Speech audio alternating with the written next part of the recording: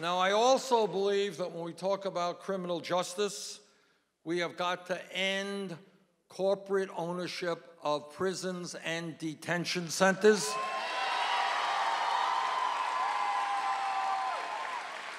And I also believe that it is time to shut down the Berks Family Detention Center.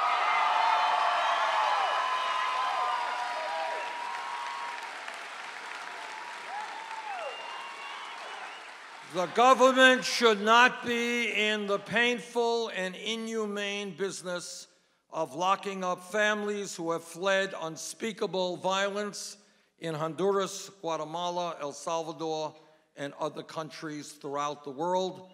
Instead, we should treat these families with the compassion, the dignity, and the respect they deserve.